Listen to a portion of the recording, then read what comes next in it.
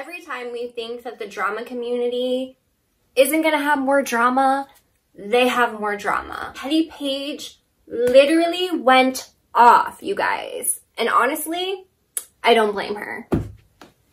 that was my funny bone. It wasn't funny. Hey everyone, welcome back to my channel. If it's your first time here and you didn't already, my name is Tarrah and thank you so much for being here. And if you like commentary videos with a little bit of makeup and lifestyle and you like my vibe, don't forget to subscribe and don't forget to hit the notification bell down below so you don't miss out on any of my new uploads. All right, you guys, I want to just dive right on in. Today we are going to be talking about the Petty Paige versus Smokey Glow I don't want to call it drama because I don't think that it's necessarily drama and we'll get into why I think that way very soon. But if you guys didn't know and don't know who either of these people are, Petty Paige has rebranded to Paigey Why. She is a commentary slash drama channel here on this platform. I love Petty Paige. I've been a long time fan of Petty Paige. I know she rebranded to Paigey Why, but I'm still to call her Petty Paige. Anybody else? I've literally been there since once upon a time, not long ago, I was a hoe. And I'm admitting it. That's how long I've been riding with Paige. Love Paige. Always loved her content. Smokey Glow is a commentary slash drama channel slash beauty channel slash lifestyle channel here on this platform. Smokey Glow is also somebody that I have watched for a very long time. Her name is actually Hannah. I have purchased her collab with Midas Cosmetics. I actually have a video on that review. If you are interested, I'll link it down below. I have supported Smokey Glow when Keemstar and Rich Lux attacked her for her makeup skills. These two people, why is there drama? Okay, so about 10 months ago or so, Snider was holding a Christmas party and he invited a ton of people from the drama channel community and Smokey Glow was one of the people that was invited. The other people that were invited were Jay, what is his name? Jake Noise TV or something like that. There's Nick Snider, Dustin Daly, Margot Indigo, Tawny Michelle, hit Petty Paige, there's a few other people invited, including Smokey Glow. Everything was gonna go down. They were gonna have a good party. They were gonna have a good time. This was before COVID, you guys, by the way. If you remember, there was a time before COVID. Can you believe it? I can't believe it. So right around the time that everybody was supposed to attend this Christmas party, some stuff came out about Rich Lux. There were DMs that were leaked where Rich Lux was using some terminology he shouldn't be using. And a lot of people called him out for being racist and having racist tendencies. I mean, look at his hair, you guys.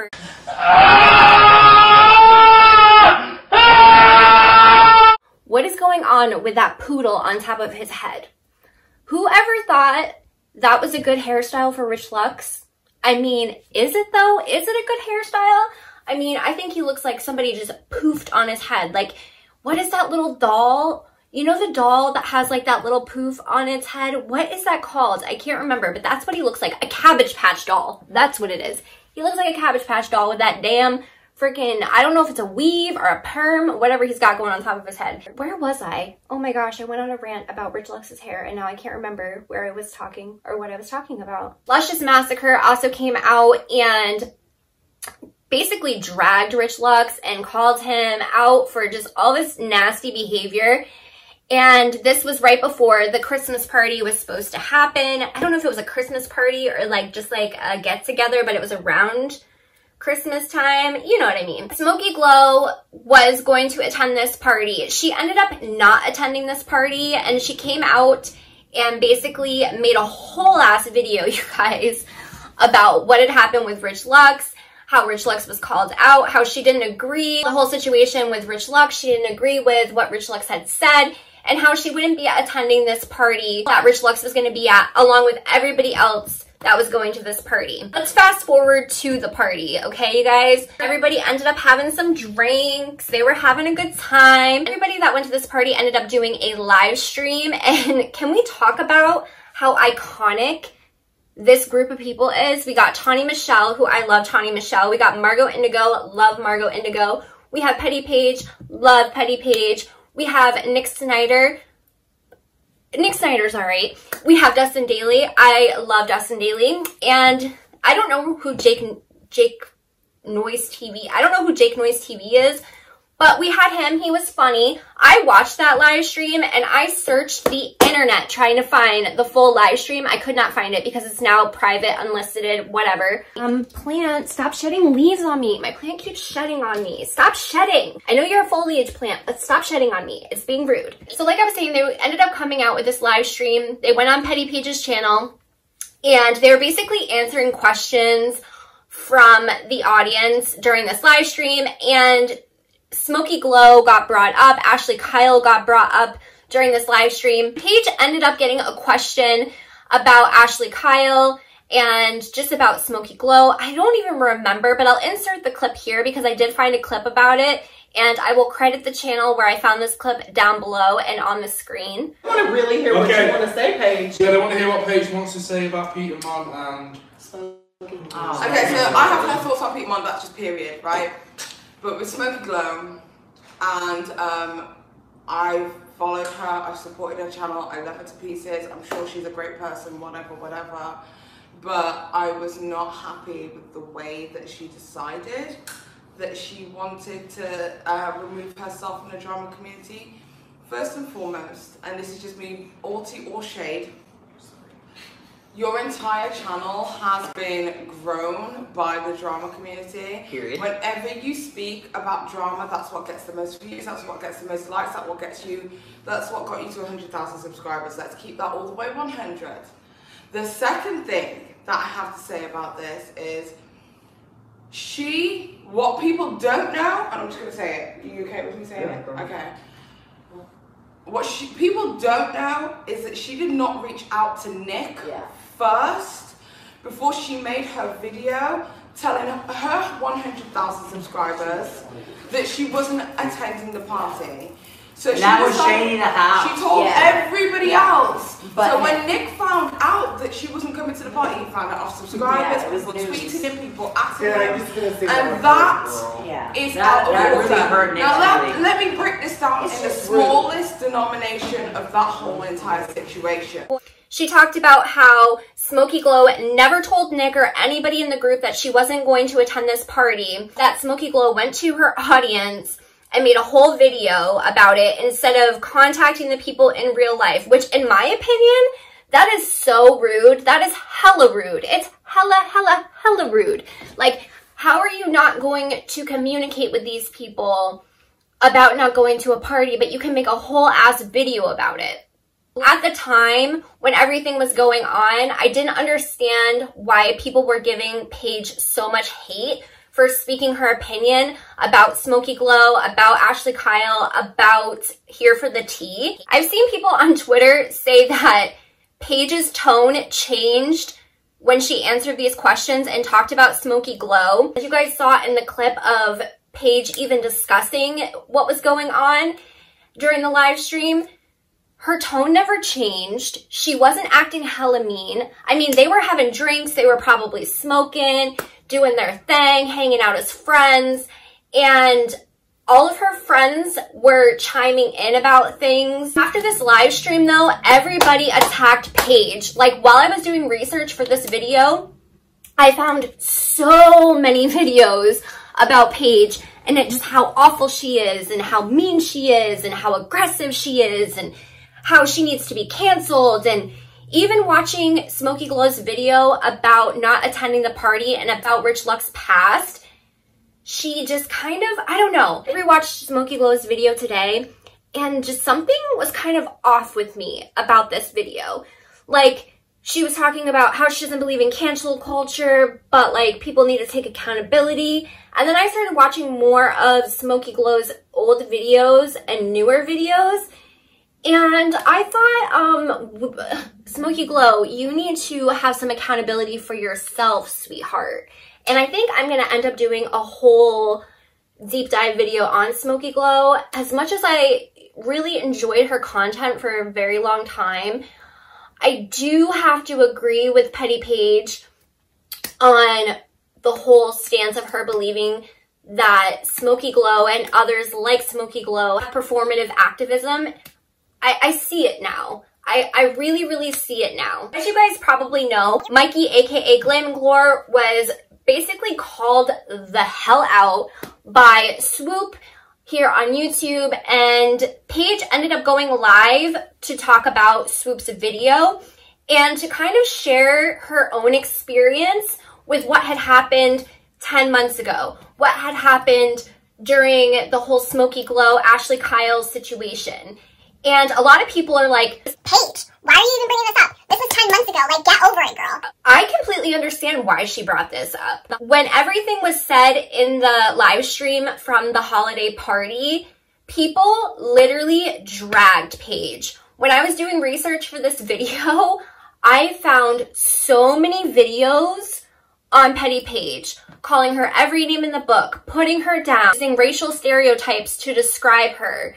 Just so many things, you guys, that like just don't sit well with me. So I totally get why Paige got so angry during the recent live stream. I think it was like a few days ago. I wanted to insert clips from that live stream, but I can't find it anywhere. I've literally searched everywhere for it. She got really upset and kind of explained her experience from 10 months ago and how she felt like everybody attacked her, everybody went after her, everybody saw her as the aggressor, everybody saw Ashlye Kyle and Smokey Glow as like these holier than thou. Um, they Paige was attacked for being a bully. Uh, Smokey Glow made it very clear that she thought that these people, especially Paige, were bullies. Um, Smokey Glow ended up coming out after the holiday live stream and tweeting about how she felt about it. And I just feel like so many people jumped on the bandwagon of hating on Paige. Now, do I think Paige is a perfect person? No. Do I think Smokey Glow is a perfect person? No, even though she tries to come off like she is. She says that she knows she isn't perfect and claims that she isn't perfect, but yet again, I, I have to say, we need some accountability on her too, because there are some things that I found while watching older content and newer content, again, that just don't sit well with me. But if you want to see a video on that and a more deep dive video on that, let me know in the comments down below and subscribe because I have a feeling it's going to be coming because I'm real passionate about this because I saw everything that Paige went through as an avid fan of both Smokey Glow and Petty Paige.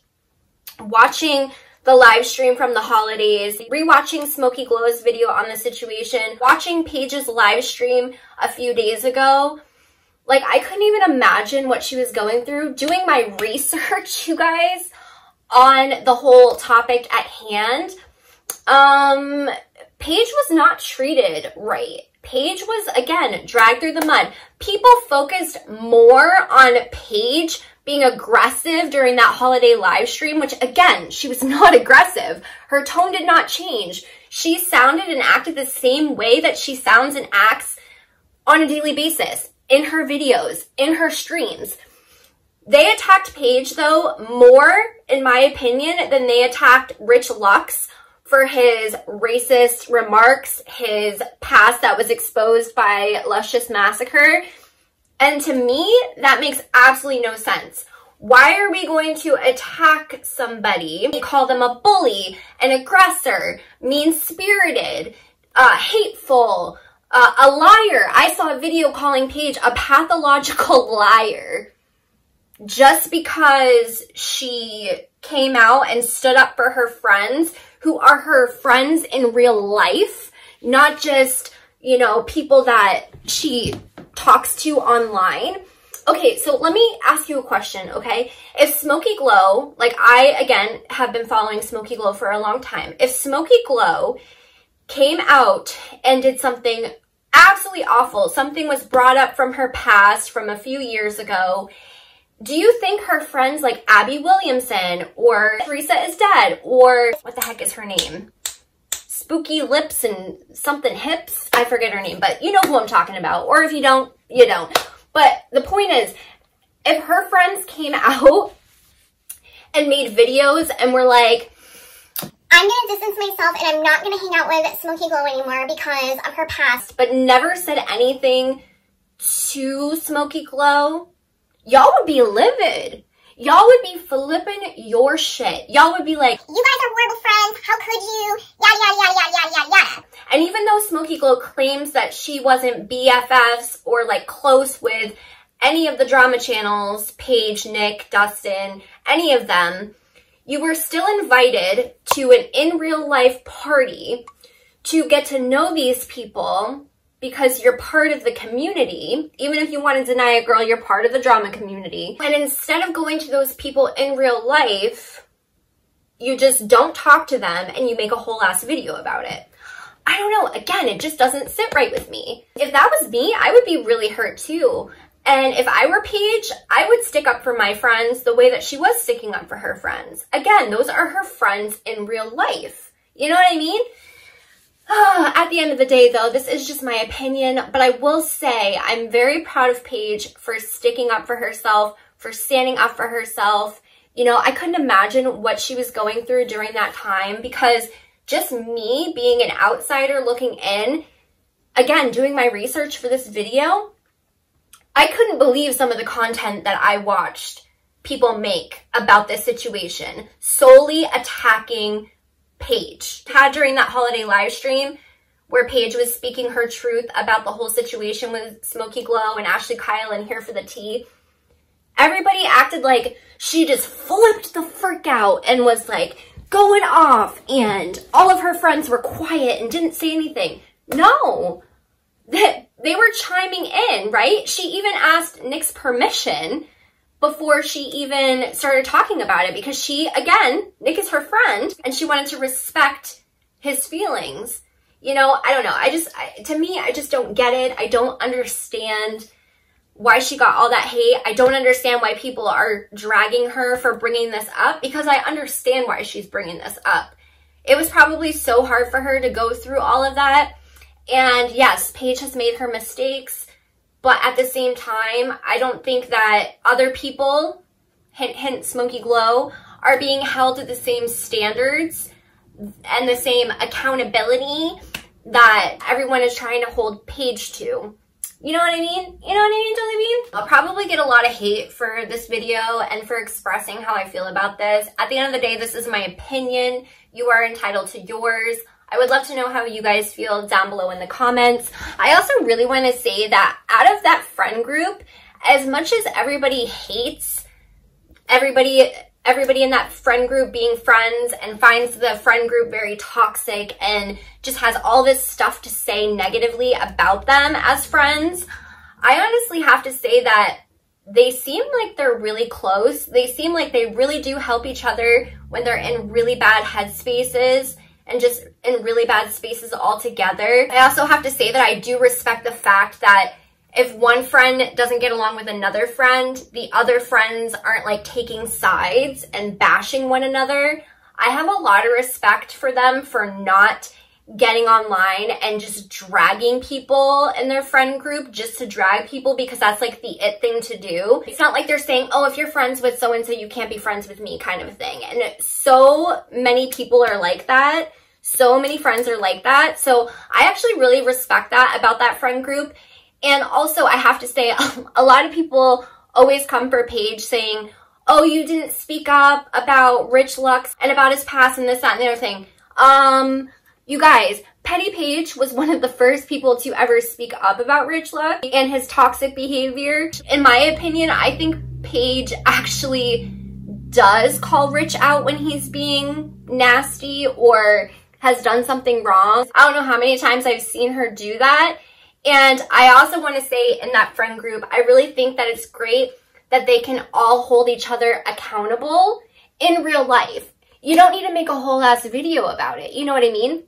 Like even when Dustin made his video on Rich Lux recently, it was because he had already tried multiple times in real life to talk to Rich Lux, to try to express his feelings to Rich Lux, and he didn't feel heard. So he ended up making a video about it as like a last ditch effort, you know? I don't know. I'm rambling at this point, but I hope you guys get what I'm trying to say. Again, I would love to know how you guys are feeling about this. At the end of the day, this is just my opinion. This is just how I feel at the end of the day. And I don't know. You know, a lot of my viewpoints are changing now that I'm digging a little bit deeper.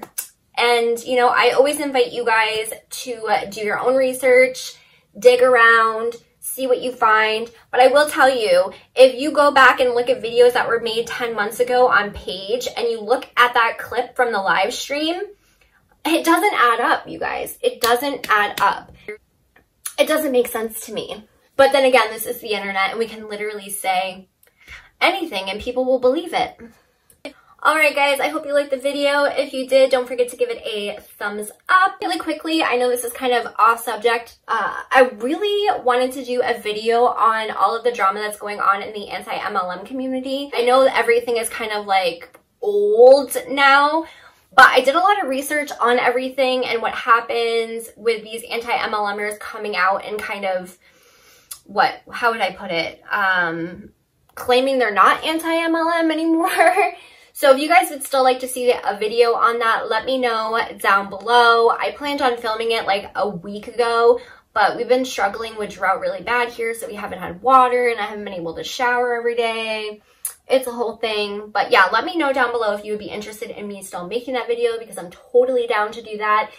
And if you guys are anything like me, I have binged watched so much anti-MLM content in the last year that yeah, shit went down, you guys. So let me know about that. And as always, I will see you in the next one. Bye, guys. Bye.